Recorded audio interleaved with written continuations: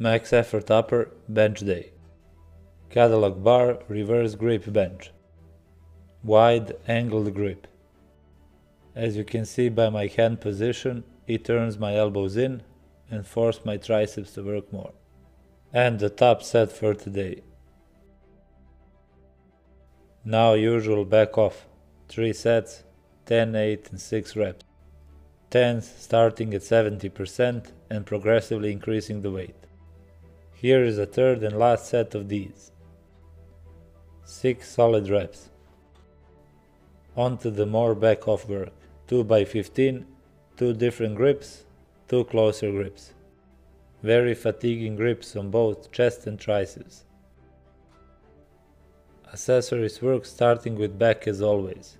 3 sets of 10 wide grip, upper back focused, and 2 sets by 15 close grip, lat biased. New bar in the play here. EZ bar triceps extensions or skull crushers and wide grip hammer curls on Cadillac bar. More work with it here. Overhead extensions and curls, 3 by 10 as well. And great finisher for upper back and shoulders. 3 rounds. Solid work overall, more to come tomorrow. Stay strong and see you soon.